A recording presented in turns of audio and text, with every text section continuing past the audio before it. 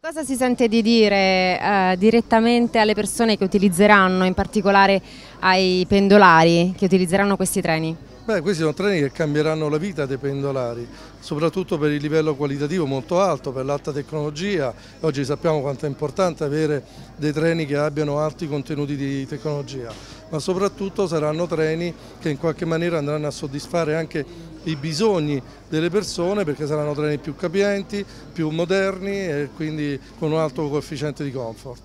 La musica sta cambiando, quando potremo dire che sarà cambiata?